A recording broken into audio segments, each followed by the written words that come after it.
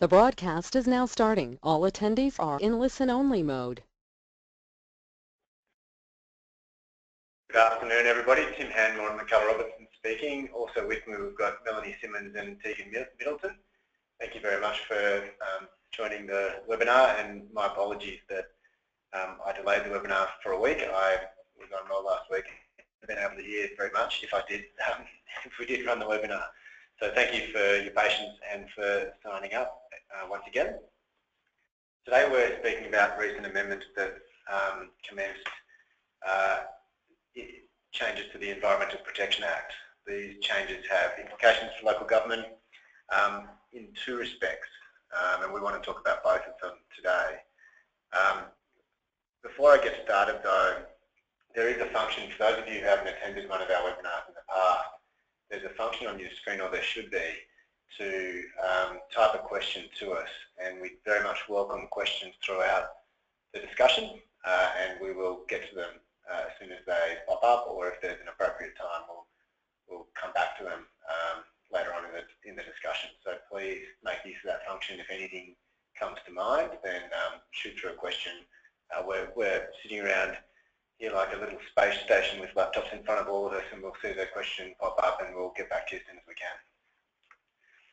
So the amendments to the Act were made um, under a bill passed on 21 April 2016, all pretty new and all um, pretty unique to Queensland.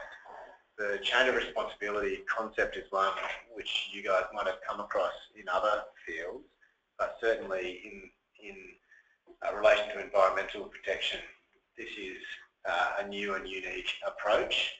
One triggered, as you all know, by um, some specific circumstances arising in Queensland, um, where the government thought that the individual behind um, some projects which uh, the government thought was, weren't being remediated as they should be should foot the bill for the remediation that individual may or may not be caught by the changes as they have been introduced. Uh, whether that's the case will be very interesting to watch. I'm sure it'll be a long um, debate through the courts.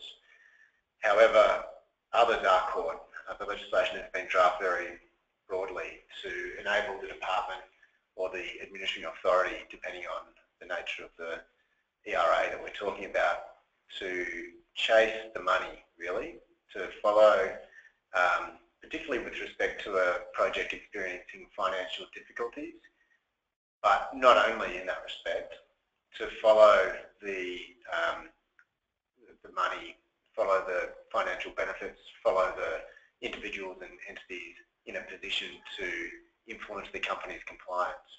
And to chase those entities down um, to, to pay for remediation, to pay for cleanup costs, and um, really for the department, it puts the department in the position to carry out those activities and basically issue a bill to those entities.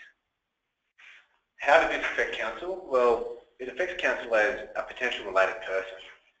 The definition of related person is drafted very broadly and there are instances that we'll talk about where council may find itself as a related person um, where, for example, um, a contractor or another entity is experiencing financial difficulties and council draws a, a financial benefit from the project, it may be that council technically fits the bill. It may also be, though, that council is at its wit's end in regulating a site and um, where, for example, a company uh, is unable uh, or not in a financial position to pay for remediation and all of council's ordinary um, uh, enforcement tools are exhausted, it may be that this is a mechanism that council itself needs to um, implement. We want to talk about that and we want to talk about the um, checks and balances that we think council should ensure are in place before um, uh, making use of this new power. So that's really the scope of the discussion today. Um, and we'll sort of step through each of those concepts. As I say, if anything I've just said by way of introduction triggered a question, please shoot it through now. Uh, we'll make sure that we answer that question through the course of the discussion or jump straight to it now, just depending on, um, on, on what the question is. Um, as the amendments came through pretty quickly, these, the, the concerns around Clive Palmer's sites and the concerns around the mechanisms that he and his organisation might put into place in order to avoid potential costs um, prompted the department to move very quickly at drafting and implementing the legislation.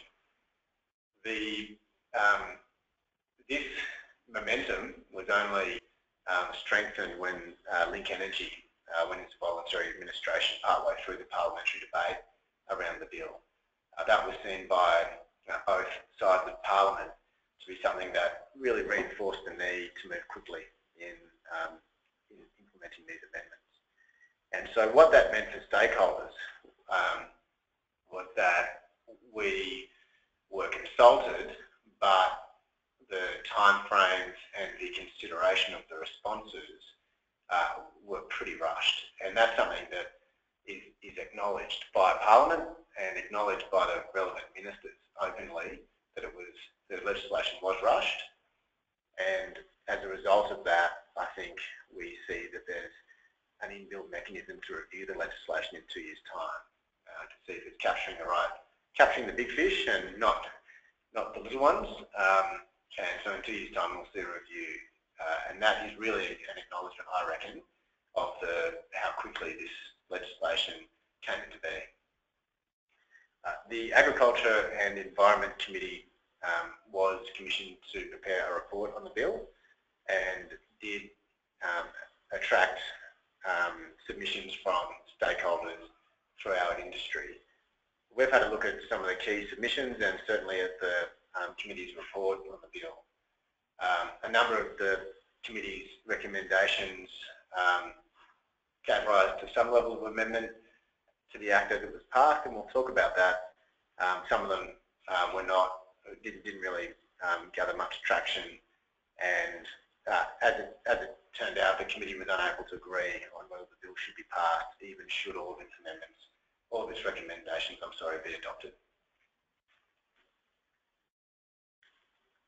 Um, so the thrust of the new legislation is that the administering authority may issue an environmental protection order to a related person of an environmental authority holder.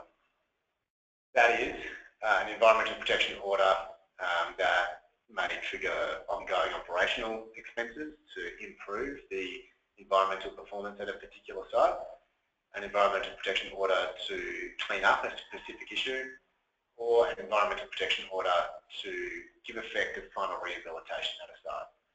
That's what the that's the thrust of the legislation, is to capture environmental authority holders not operating to a standard that the administering authority is satisfied with.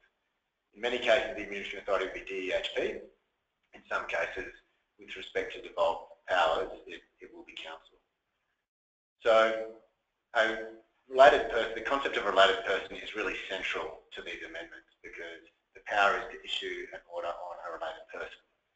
Related person being a holding company of the EA holder, the owner of the land uh, on which the activities are carried out. Now there's a carve out for resources companies there and I'll speak about that in just a sec. Um, that carve out is that the owner of the land must also be an associated entity with the resources company a person that the administering authority determines has a relevant connection with the company. A relevant connection is a very broadly defined term and we'll come back to that in a moment.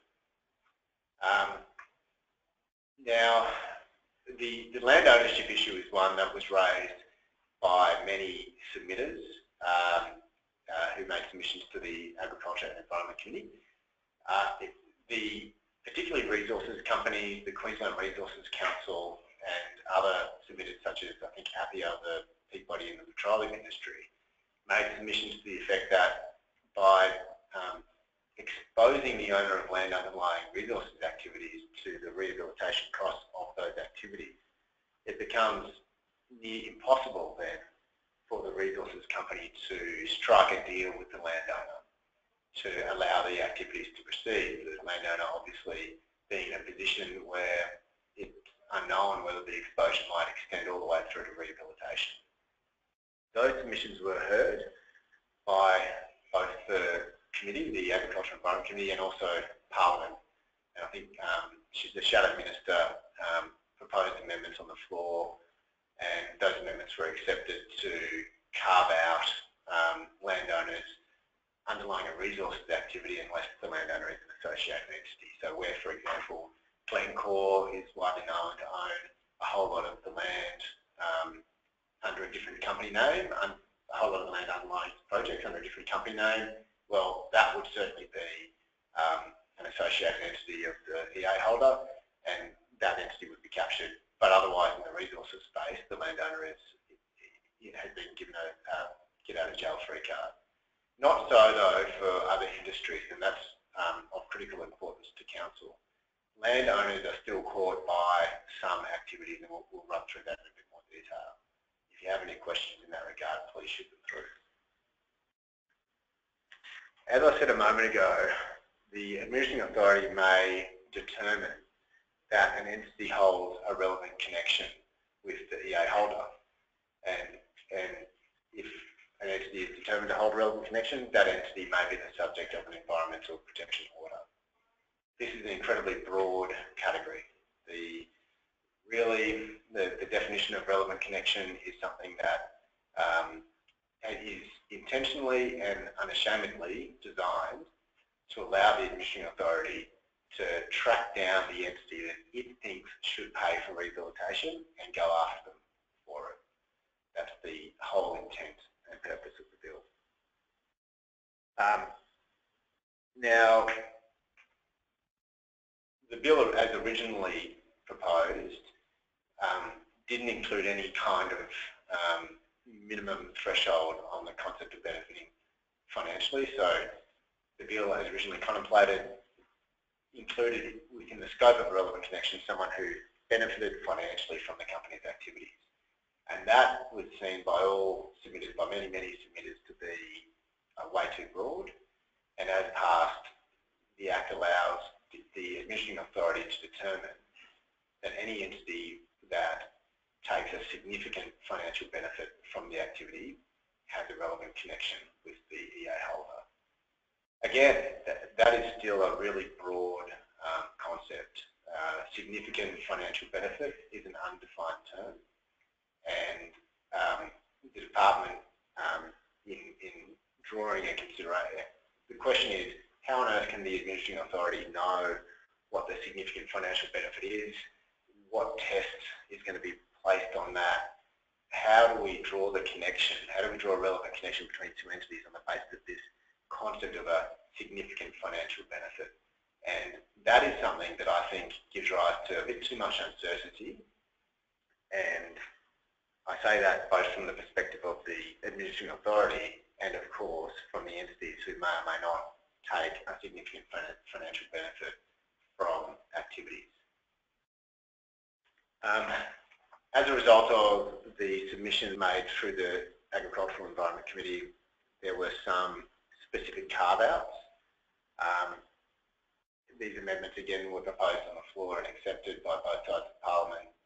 Um, it is irrelevant if the person is capable of or has significantly benefited financially under a native title or cultural heritage agreement, a compensation agreement, for example, with the landowner, or a make good agreement, um, uh, basically a uh, groundwater make good agreement that resources companies have been entering into in many of the basins around Queensland. Um, now that, so those um, entities can feel comfortable that they won't be caught, but otherwise we're given no guidance as to what a significant um, financial benefit may be. There are some relevant factors that the admission authority may, and I highlight may, take into account when determining whether or not an entity has a relevant connection. Um, the extent of the person's control of or financial interest in the operator, uh, whether the person is an executive officer of the operator or a holding company, so a director for example, the extent to which a legally recognisable structure or arrangement makes it possible for the person to receive a financial benefit from the operator. To me, that is um, almost as broad as if the consideration wasn't included in the Act because it doesn't give us any real certainty what is a legally recognisable arrangement that makes it possible for a person to receive a financial benefit. Again, I really think there's a, there's a little bit too much uncertainty around some of these um, concepts. Um, and, you know, the, the, next bullet point only adds that any agreement or transaction the person enters into with the operator or its holding company. Um, the extent to which dealings between the person and the operator are arm's length, independent and on a commercial footing, uh, or for the of providing professional advice. So there are some areas of comfort, I suppose, that uh, entities can take away from these um, factors. However, as I said right at the start, they are um, uh, factors that may be taken into account. Uh, what we really need, and as I'll come to a bit later on, what is currently being um, prepared as some um, some guidelines around the manner in which administering authorities should implement the uh, and should have regard to these considerations. Now, something that um, I haven't mentioned is that, and I'll just just give me one second.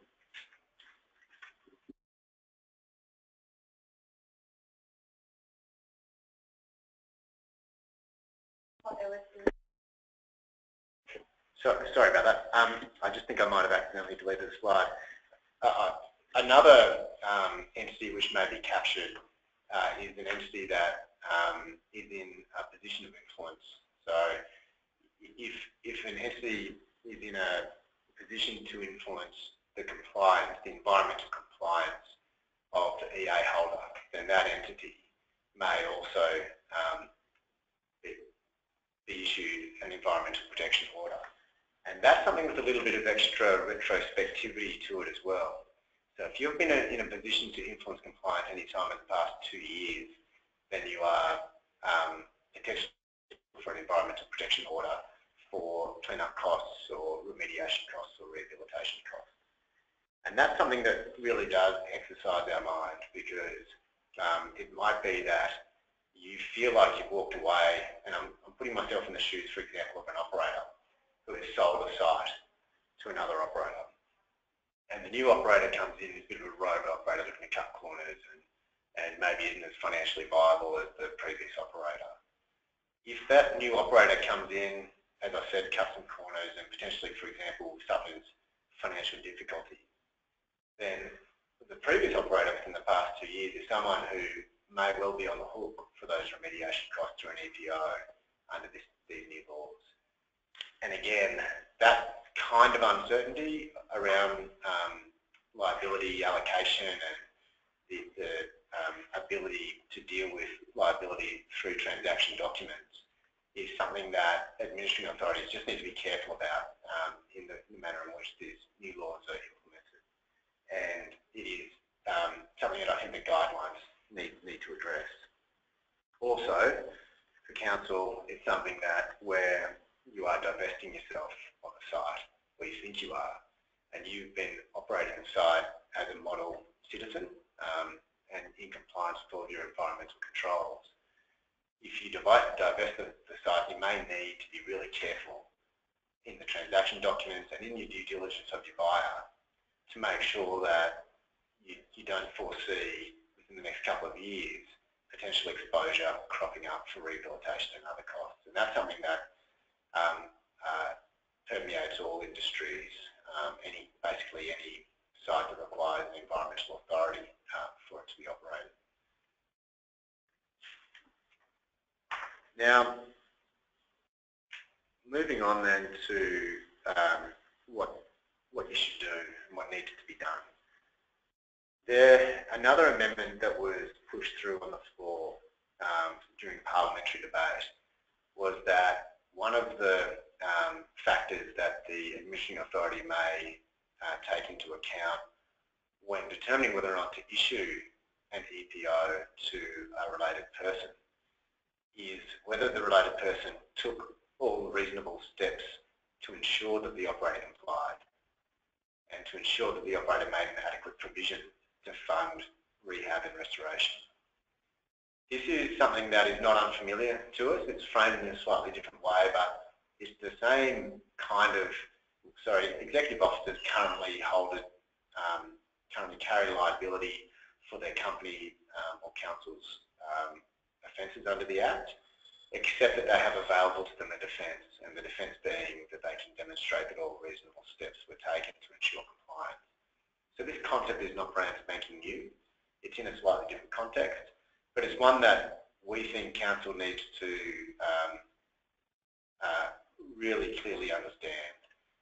To do that, we need we all need to keep an eye out for the guidelines when they do come through, and we need to understand what all reasonable steps means um, in the context of your own operation.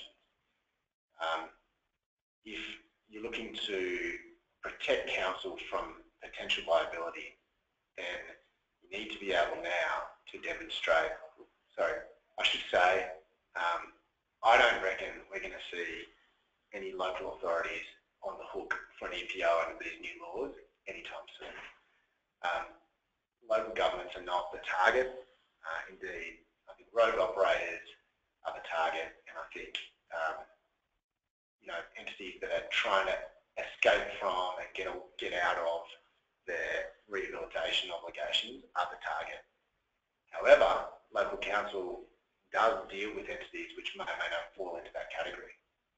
And if the entity is successful through some liquidation or voluntary administration or some other um, strategy successful in escaping um, liability, it may be that the administrative authority casts around for another entity, including potentially local government, to um, for someone to, to pay these costs. And that's kind of the worst case scenario, not one that I think is likely, in fact one that I think is very unlikely.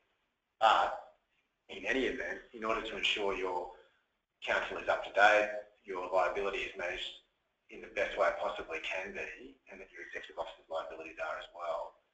What we're saying is, I reckon you need to look at this all reasonable steps um, uh, consideration and then look at your policies and your implementation of them when you're looking at um, contractor sites or sites that you take a significant financial benefit from but don't have direct control over.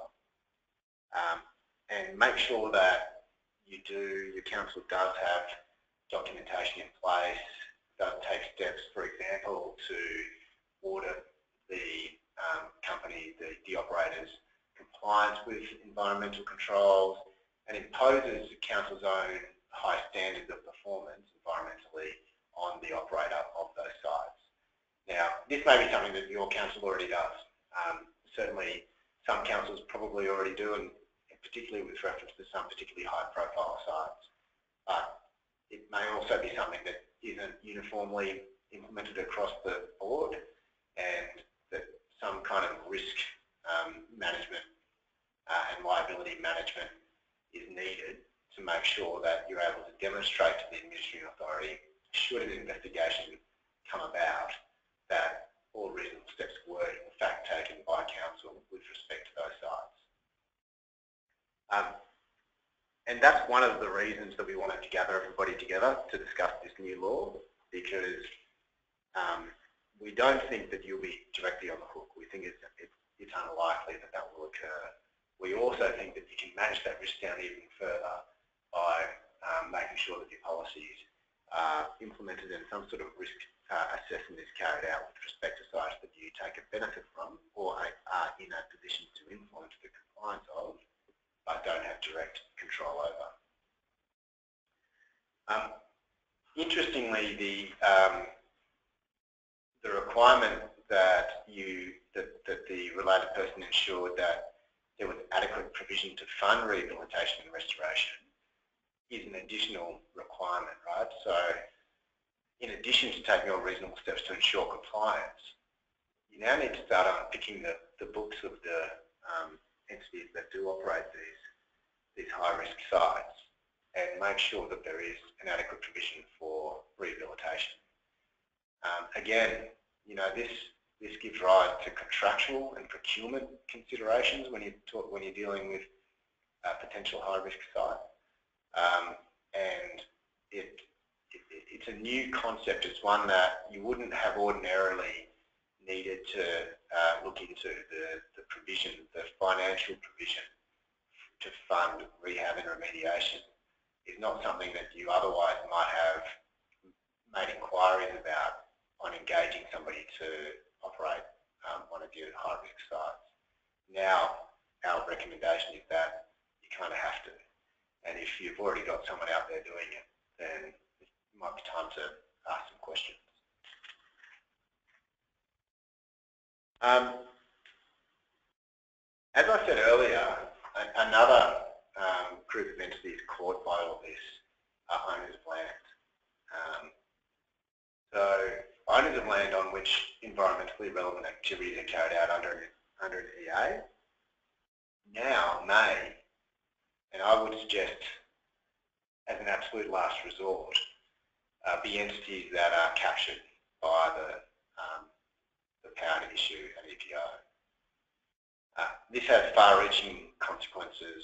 I've already discussed the um, the reaction of the resources industry to, to this through stakeholder um, consultation, but more broadly than that as well, there were um, submissions made, for example, by the Queensland Law Society that um, these provisions basically mean that entities with no influence or control over operations and no connection or fi financial interest in the operations uh, may now be captured for rehabilitation costs. Despite um, considerations and many submissions to that effect, and the committee's recommendation to omit landowners entirely as a category of related persons, the bill as passed, and I've, I've mentioned this earlier, includes landowners um, in, in industries other than uh, resources activities.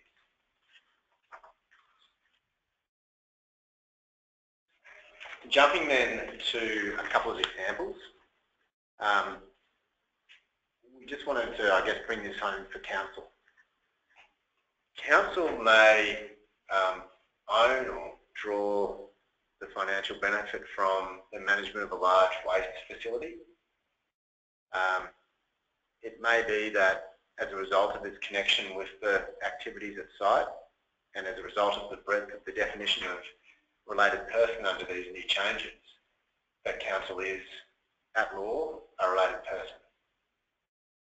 Um, where the operator fails to comply then with the EA, and I would suggest where the administrative authority has chased that operator for remediation and has been unable to um, secure it through the normal enforcement tools, it may be that um, council or some other related person, for example, the holding company of the operator, or both, uh, on the hook for an EPO. Now, this is, uh, obviously this is expressed as a stern warning and it's really more of a hypothetical um, as a result of the manner in which the law has been drafted. But it, it is something that we think you need to be aware of and that's kind of why we're saying in these sorts of instances, and, and quarries might be another example as well, where you know, perhaps you own the land underneath the quarry. Um, we, we just suggest that the reasonable steps be taken um, uh, to ensure compliance. In these instances, as I said earlier, it may be that the administering authority is chasing the primary company the holding company, another related person, the owner of the land, which who knows who that may be, council, someone else, uh, and a significant financial beneficiary, you know, that may be council. It may be that the EPO is chasing all of these people, trying to find somebody who can pay for the cleanup costs. In that instance, the admission authority may issue an EPO to all of them. And they all may be jointly and severally liable for those cleanup costs. And if the EPO is, um, if the requirements of the EPO are not met by any of those entities, council, I'm sorry, the administering authority may step in, um, carry out the cleanup, and then issue a bill. A critical element to all of this um, is how will it, how should the administering authorities um, implement this law. Uh, the and the Act as passed, um, and again this is one of those amendments that is debated on the floor, the Act as passed includes a requirement that, um, that the admission authority consider any relevant statutory guideline when deciding whether or not there is a relevant connection and whether or not to issue an EPO. Those guidelines are not yet out, but they're being um, developed uh, in consultation with relevant stakeholders now. Uh, one of the key messages there, of course, you know, council is an environmental regulator and needs to be involved, to the extent you're not already, needs to be involved in the um, development of those guidelines. That's one point. Another point, and now I'm turning to the second um, um, element of the discussion being council as the regulator. So please shoot through any questions that you might have about that first part. But council as a regulator needs to feed, in my view, feed into the development of these statutory guidelines and also um, uh, have its own policies in place, ensure that it has policies in place as to when this new power should and shouldn't be activated. I think that this power is very broad. It's something that needs to be carefully weighed up against all the other enforcement tools already available to council. So we're talking about um, an instance where you've tried everything else um, and failing all other attempts, it might be time to cast around for somebody that is a related person to the entity that holds or holds the relevant environmental authority. It would be uh, prudent, I think, for council to be informed by the, to inform the development of the statutory guidelines and be informed by the statutory guidelines in developing its own internal policies on how this fits within its enforcement framework. Uh, that first point on the next slide, I think, is what I was just trying to say a moment ago. That the new, new powers are probably most relevant to problem sites, legacy issues. You've been, you're at your wits' end. You've been trying and trying and trying to um, to get this site remediated. All else has failed, and now it's time to cast around for a related person. If so, this is a new power, something you need to be aware of. Your enforcement guys need to be aware of the power to issue an EPO and who the new um, recipients of an EPO may be. And you may already have, you, this power exists today. There's no statutory guideline in place, but the power exists today. So you may already have sites that it would be appropriate to issue an EPO um, to a related person. My strong suggestion would be that it's something you consider very carefully before you do it. Um, but it's something that is open to you and for all I know, you know, there, there are already sites out there where this would be an appropriate measure for you to take.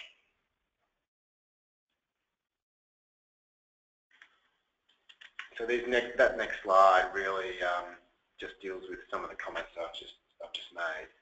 The slides can be made available to you guys later as well for your reference. We can shoot them around by email.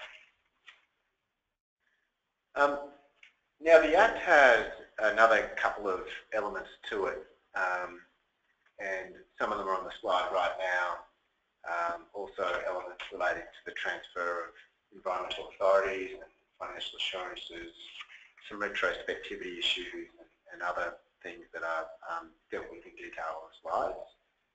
Uh, I thought I might pause there um, and uh, call for any questions you might have, um, any other points that, um, that you guys wanted to make.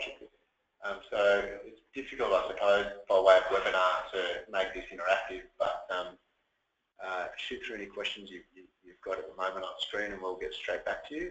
And um, yeah, I'm just going to push in. It's Melanie here. Um, I just wanted to follow on from Tim's earlier point about this fitting in within the framework, um, the existing enforcement framework. Um, when council's looking as an administering authority um, to enforce compliance with conditions of environmental authority for one of the ERAs that's devolved to council, um, obviously your, your, enforcement strategy is always going to depend on the circumstances. Um, but EPOs, the ability to stretch those to other potential parties is just one thing to look at. If you are looking at commencement of civil or criminal proceedings against someone who's non-compliant with conditions of an environmental authority, often you would be proceeding against the owner of the land as well as the operator in any case. Um, so those sorts of land ownership issues, you know, might fall out in the wash in that respect. Um, if you're looking at EPOs to try and get some some actions to be undertaken um, without the need to go to court um, and you want to go beyond the particular corporate entity that you're looking at who's operating the site, obviously there's some detailed investigations that you need to do to pierce that corporate veil. Um, so those sorts of things would all need to be considered and it might be that council very rarely would rely on these additional liability provisions. Um, sorry, I'm just getting a note here. oh, sorry, I was just, um, I was just um, making a note to Melanie that there might be circumstances where the EA holder is no longer in existence, where a corporate entity is wound up or runs away or disappears in a puff of smoke. And in those instances, these new powers would enable enforcement against the parent company, enforcement against other entities with a relevant connection. So that's that's where the shoe is on the other foot and council can make inquiries as to where the relevant connection might lie and try to find the entity that sat behind the EA holder uh, if a corporate machination has allowed the EA holder to, to disappear in a puff of smoke. And so that, that would be another instance where it might be that, that this new power becomes um, something that council wants to consider. Um, one question we've got is uh, what about officers who no longer work for council? Um, there are two layers, I think, in answer to that question. The first one is that I think that officers, council officers, are in all likelihood um, never going to receive an enforcement action against them under this new law. Can't say that for sure, but I'd be very, very surprised if that was the case. Um, however, there is a level of retrospectivity to it. So to broaden the question out a little bit, if an entity was in a position to influence a company's compliance in the past two years, then, then that entity is susceptible to an environmental protection order under the amendments. Uh, and so should um, a relevant connection be determined and somebody has moved on in their employment, but at the time that they were with um, the relevant entity, they held that position of influence, then that would not stop, that their change in role would not stop the department or the admission authority from chasing that individual down. Um, but as I say, it's more the Clive Palmers of the world that uh, this is targeted at uh, rather than any particular council officer. That's right. If I can just add in there while Tim's looking at the other questions that have come in, um, if you're not a Clive Palmer and you don't have those financial uh, backings, it's unlikely that as a council officer you would be chased under this legislation because you just simply won't have the money for them to come after and this legislation is primarily aimed at being able to follow the money. That's right and look, with all of that said, the executive officers of council need to be aware of the executive officer liability provisions within the Environmental Protection Act as they stood before these amendments. Um, nothing in these amendments water those down at all, so um, executive officers are still exposed in circumstances where council has committed an offence under the Act, um, but we don't think that these new changes expose individuals within council any more than they um, previously were exposed. Um, we've got a question as to who within council should be briefed on the amendments. I think that your enforcement team would probably already be aware of them, but one thing that I would encourage you to, to uh, double check is that um, someone in council is involved in and is feeding information to the, the development of the statutory guidelines as to how the enforcement of these provisions um, should be implemented by administering authorities. I think that's a really key step for councils to be taking right now while the statutory guidelines are being um, developed.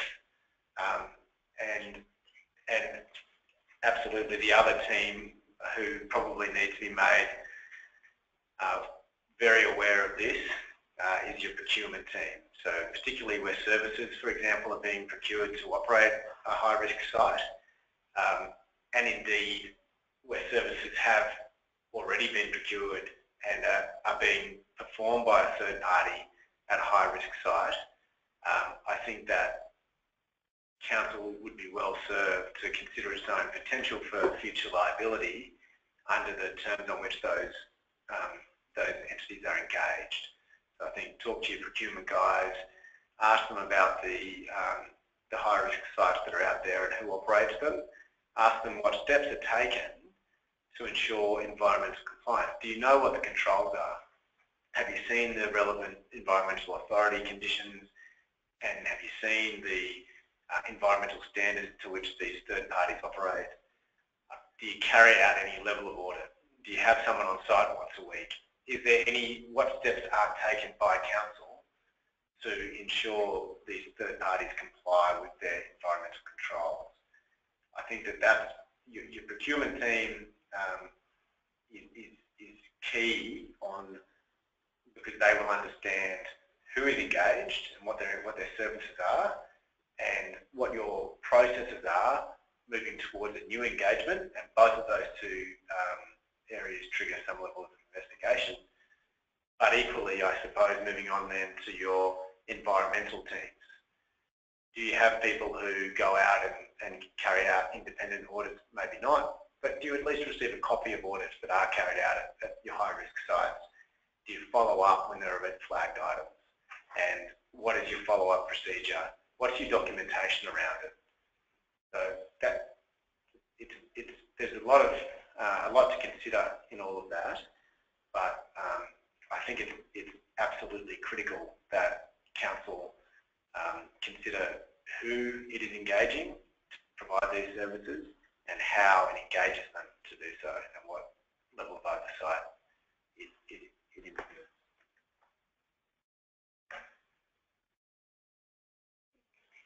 Oh, we have we have another question. So the question, um, will any prosecution against a person be of a criminal or civil nature? Very good question. Um, in the first instance, the enforcement tool would be receipt of uh, an environmental protection order. The environmental protection order is um, a, it is a statutory requirement to comply with the terms of an environmental protection order failure to comply is an offence. Willful failure to comply is a criminal offence. And so in the first instance, the enforcement tool would be um, stat, the imposition of a new statutory requirement and that, that being to comply with the EPO. Failure to comply though triggers potential criminal or civil proceedings. And the other, in practice, the other step that would be taken against the recipient of an EPO that fails to comply is that the administering authority would potentially step in, depending on how expensive the work is we're talking about. The administering authority may step in, carry out the work itself, and then um, be able to recover the cost of doing so. Uh, my apologies, Stephen, did you want to? Sorry, I was just um, aiming to clarify that. Correcting, um, correcting me. Uh, as you know, uh, council in its in its role as administering authority can't issue clean-up notices, but uh, DEHP will be able to if they are the acting as the administering authority under the Act. Right. And obviously, the um, sorry, it's Melanie here. uh, obviously, if you're dealing with an, an issue of non-compliance with an EPO, the decision which way to go in terms of a criminal or a civil proceedings, if you want to enforce the EPO, um, depends on the circumstances. Um, and there's a range of issues to be considered if you're going down the path of criminal proceedings in terms of evidence and the higher, higher um, standard of proof required. Um, so either of those options is still on the table if you um, have non-compliance with an environmental protection order. I think that, um, thanks Melanie and Tegan, I think that that um, answers all of the questions that we've received so far. As I say, the slides will be distributed um, and feel free to, if you have any further thoughts, feel free to shoot them through by way of email. Um, our time is pretty well up anyway, so we might um, we might call it there unless there are any final questions. Otherwise, thank you all very much for attending, and um, if you have any further queries, then please um, give us a shout.